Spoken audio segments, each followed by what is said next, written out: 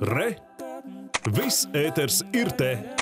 Korupcijas novēršanas un apkrošanas birojas izbeidzis kriminālu procesu pret saimas deputātiem Viktoru Valaini un Ralfu Nemīro.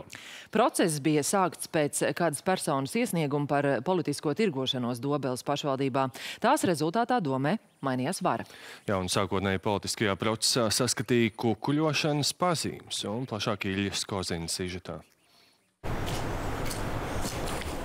Kriminālu procesu sāka pēc deputātu tikšanās Saimes zaļzemnieku frakcijas telpās. Tur deputāti Viktors Valainis un Uldis Auguls tikās ar Ralfu Nemīro, kurš bija atnācis ar savu palīgu un Dobeles domas deputātu Māri Feldmanu, lai panāktu varas nomaiņu Dobelē.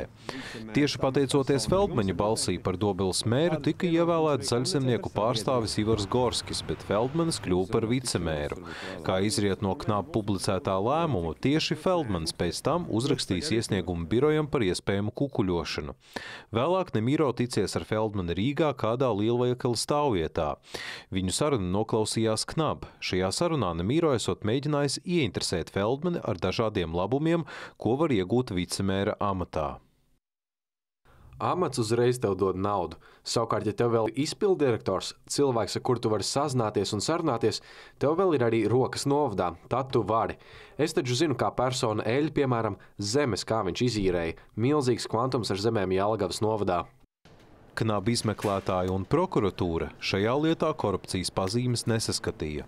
Lai izveidotu jaunu koalīciju, nav iespējams izvairīties no tā, ka tiek piedāvāti konkrēti politiskie amati jaunajā koalīcijā, vai arī tiek pieprasīti šādi politiskie amati.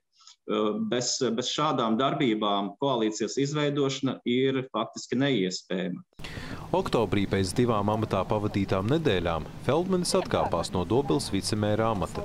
Oficiālais iemesls – domas vadība nesot reaģējusi uz viņa iesniegumiem par pašvaldības līdzekļu izšķērdēšanu. Saimas deputāts Ralfs Nemīro ir gandarīts par procesa izbeigšanu. Šāda procesa izbeigšana, protams, apliecina to, ka mēs esam strādājuši tiesiski un darbojušies politikas veidošanas ietvaros. Pareizākais, manuprāt, būtu korupcijas novēršanas un apkarošanas birojām arī atvainoties tādā gadījumā par tādiem gadījumiem, kad procesi ir uzsākti un izbeigti. Tas vienkārši ir tāda goda lieta.